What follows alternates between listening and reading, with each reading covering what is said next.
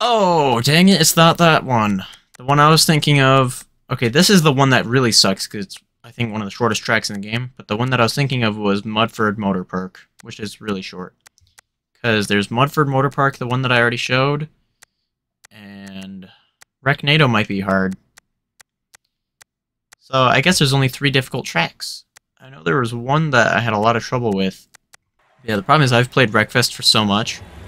Sure, my Steam only says like 90 or 100 hours, but that does not include both of my accounts on PS4. Because I played through...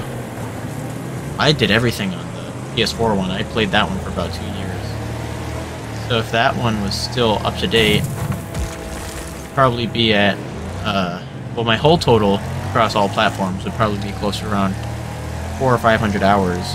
But I know I was, oh, I was like level 80 or something on one PS4 account. Level 73 on this one right now.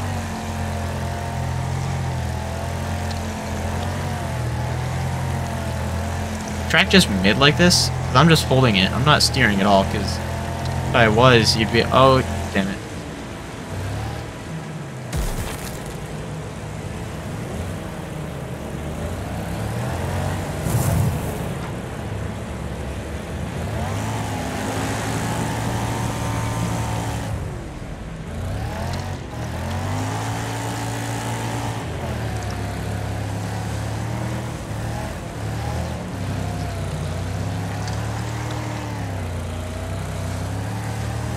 Ring! Oh man. I am yet to lose a rear tire. I'd love to use one in the rear, because those ones don't matter as much. Sure, it's where I get the power, but that when you can.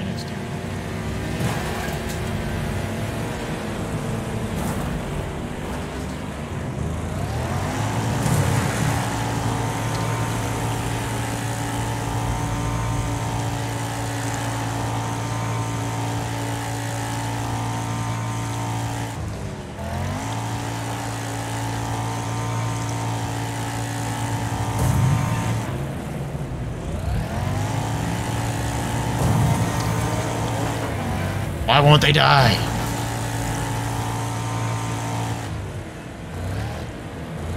It's nice about backing into them, it's a lot harder for your engine to blow up when you back into somebody. The worst that you can lose from the rear by doing that is Again, as I said, don't really matter that much. Those are option parts. Oh, really? I had a perfect hit lined up.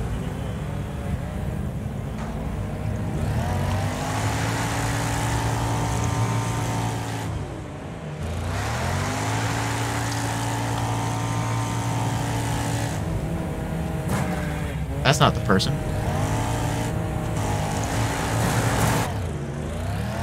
Can't hit the driver's door.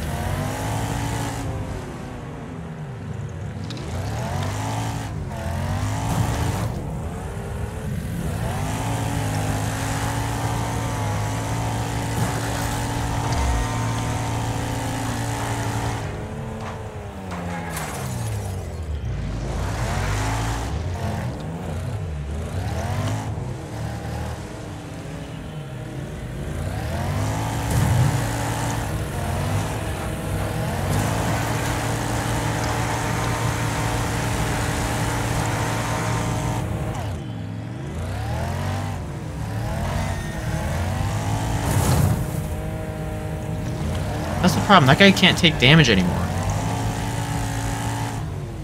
My car is basically done for.